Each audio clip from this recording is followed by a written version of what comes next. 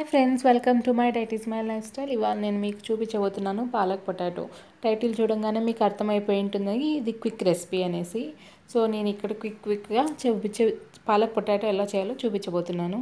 So onion ఇక్కడ ఏంటంటే pan heat చేసుకోవాలి ఆయిల్ వేసుకోవాలి ఆవాలు జీలకర్ర పచ్చిశనగపప్పు అండ్ కరివేపాకు వేసుకొని వేగిన తర్వాత మనం ఆనియన్స్ కొద్దిగా సాల్ట్ వేసుకొని వాటిని కూడా వేపుకుందాము. సో ఈ ఫ్రైకి నేను టూ టిప్స్ మీతో షేర్ చేసుకోవాలనుకుంటున్నాను. సో పట్ పొటాటో మనకి త్వరగా అయిపోవాలి అంటే సాల్ట్ వేస్తాము అది అందరికీ తెలుసు. నేను ఇక్కడ మీకు షేర్ చేయబోతున్న సీక్రెట్ టిప్ ఏంటంటే టర్మరిక్. టర్మరిక్ వేసినా కూడా దుంపకూరలు ఏవైనా సరే త్వరగా మగ్గిపోతాయి. సో ఈ టిప్ మీకు హెల్ప్ అవుతుంది అనుకుంటున్నాను. సో పొటాటో వేసిన వెంటనే సాల్ట్ వేస్తాము. సాల్ట్ వేసిన తర్వాత కొంచెం పసుపు ఒక ఒక జస్ట్ ఒక త్రీ మినిట్స్ ఆగిన తర్వాత మనం పసుపు వేసుకొని కూడా మనం వేంపుకోవాలి మూత పెట్టేసేయాలి. చాలా త్వరగా పొటాటో అనేది మగ్గిపోతుంది. సో నేను ఇక్కడ సాల్ట్ వేసి దీన్ని కొంచెంసేపు రోస్ట్ చేసేసి మూత పెట్టేస్తున్నాను. ఇంకొక టిప్ ఏంటంటే పాలకూరని పాలకూరని ఎలా క్లీన్ చేసుకోవాలంటే పాలకూర కట్ట తీసుకున్నాక దాంట్లో హాఫ్ ఆఫ్ ద పార్ట్ అంటే లీఫీ పార్ట్ని ఒకటే మనం తీసుకొని మిగతా పార్ట్ని అంతా కట్ చేసి పెట్టేసేయాలి. లీఫీ పార్ట్ని కూడా త్రీ ఫోర్ టైమ్స్ ఫ్రెష్ వాటర్లో ఇక్కడ చూసారా నేను? బాగా మూత పెట్టేశాను. మూత పెట్టిన వెంటనే ఇప్పుడు పసుపు వేస్తున్నాను. పసుపు వేయడం వల్ల త్వరగా మగ్గిపోతుంది. ఇక్కడ ఇంకా నాది ఇంకా మగ్గలేదు. సో అందుకనేసి నేను త్వరగా కుక్ అవ్వడానికి పసుపు వేస్తున్నాను. పసుపు వేయడం వల్ల ఏంటంటే త్వరగా కుక్ అయిపోతుంది. పొటాటో అనేది మనకి కావాల్సిన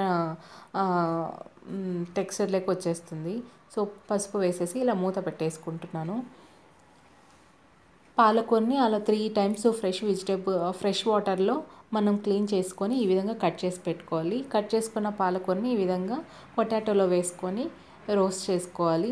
సో ఇక్కడ నా అడ్వైస్ ఏంటంటే పాలకూర కానీ మరి ఏ లీఫీ వెజిటేబుల్స్ అయినా సరే మూత పెట్టి మగ్గించుకోవద్దు. దానిలో ఉన్న మినరల్స్ విటమిన్స్ ఏవైతే ఉన్నాయో అవి అవాపరేట్ అయిపోతాయి. సో మూత పెట్టకుండా దాని కలర్ కూడా చేంజ్ అయిపోతుంది మూత పెట్టడం వల్ల. మూత పెట్టకుండా ఈ విధంగా నేను మగ్గ పెట్టుకున్నాను. సో ఇప్పుడు నేను వేస్తున్నాను ధనియాల పొడి అండ్ రెడ్ చిల్లీ పౌడర్. ఇవి రెండు కూడా వేసుకొని ఇలా వేపుకుందాము. వేపుకోవడం వల్ల మనం వేపుకునే ప్రాసెస్లోనే పాలకూర మంచిగా కుక్ అయిపోతుంది. పొటాటో ఆల్రెడీ కుక్ అయిపోయింది పసుపు వేయడంతో.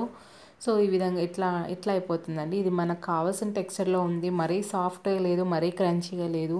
మీడియం కుక్లో మంచిగా ఉంది. సో మీకు ఇవి చాలా టేస్టీగా అనిపిస్తుంది. ఇక్కడ నేను ఫైనల్గా సాల్ట్ తక్కువ అయితే సాల్ట్ వేసుకున్నాను. ఇంకేముంది? షోట్ చేసుకోవడమే. ఇది చపాతీ లెగ్ కానీ నాన్స్ లెగ్ కానీ సూపర్ కాంబినేషన్. మనం పప్పు అన్నం పప్పు అన్నం లెగ్ కూడా సైడ్ డిష్గా మనం ఈ పొటాటో ఫ్రై చేసుకున్నామంటే చాలా చాలా బాగుంటుంది. సో చూసారు కదా ఈ విధంగా ఉంటుంది.